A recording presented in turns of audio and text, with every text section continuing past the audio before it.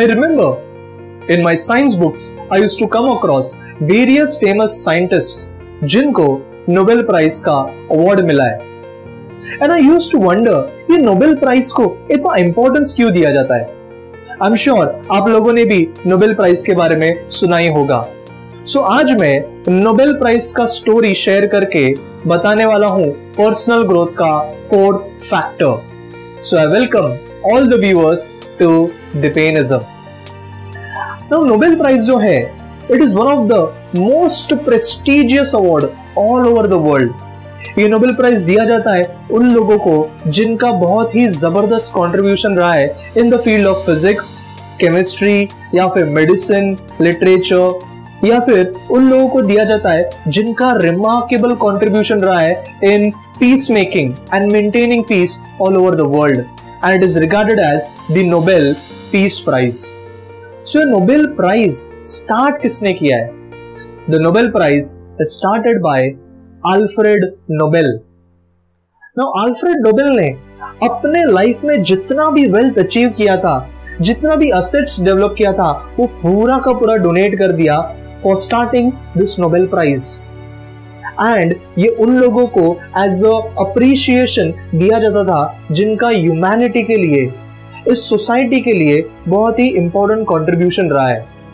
Almost one thousand crore rupees का जो उन्होंने वेल्थ अचीव किया था, पूरा का पूरा उन्होंने डोनेट कर दिया। ये इतना सडन डिसीज़न उन्होंने क्यों लिया? तो उनके लाइफ में एक ऐसा शॉकिंग इंसिडेंस हुआ, जिसकी वजह से उनका पूरा थिंकिंग चेंज हो गया।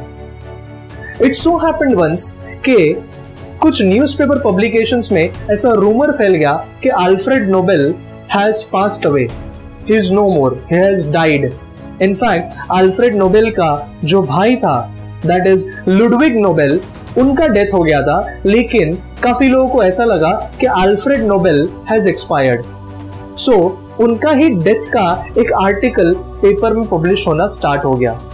जब भी अल्फ्रेड नोबेल ने अपने ही डेथ का आर्टिकल पढ़ा ही वॉज़ टोटली शॉक्ड बहुत ही निराश हो गए। He was totally saddened by what was written what was the opinion of the world about him article में लिखा था कि मौत का जो सौदागर है, वो ही मर गया है। The merchant of death is dead now उस पर्सन ने जिसने लोगों को फास्ट मारने का तरीका इन्वेंट किया है थैंक गॉड वही मर गया है। और ऐसा लोगों का जो ओपिनियन था that was because he was the person जिसने इन्वेंट किया है डायनामाइट सो डायनामाइट एक्सप्लोजिव ये सब का इन्वेंशन स्टार्ट जो किया था, वो किया था अल्फ्रेड नोबेल ने। और उनका डायनामाइट नोबेल नाम का एक कंपनी भी है। And that is why world regarded him as the merchant of death क्योंकि डायनामाइट एक्सप्लोजिव डेफिनेटली डिस्ट्रक्टिव ही है। हम लोग बोल सकते हैं कि डिफेंस के लिए भी ये ज़रूरी है।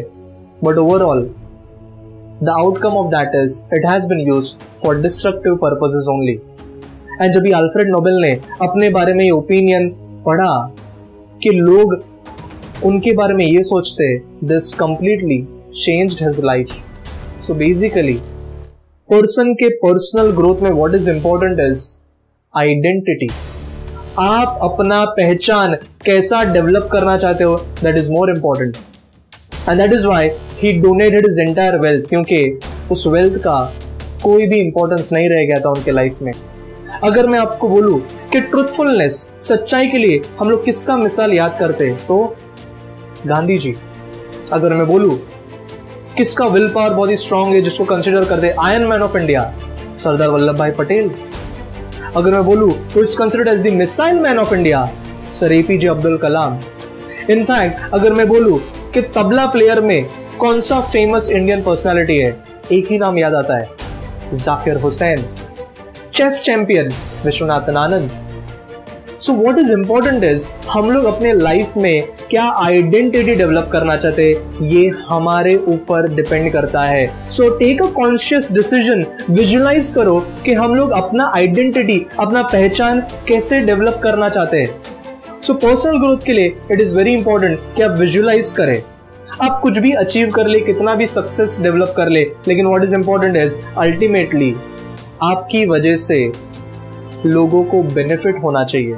Your identity should be as a good person जो सब जगह niceness and positive energy spread out कर रहा है। So what is important for personal growth is develop and visualise your identity कि अगर मैं ना रहूँ तो भी लोग मेरे बारे में क्या याद रखे। सो फ़र्स्ट फैक्टर जो मैंने आपको बोला था डेवलप अ स्ट्रॉन्ग बॉन्डिंग अपने पैशन के साथ स्ट्रांगली बॉन्ड हो जाओ।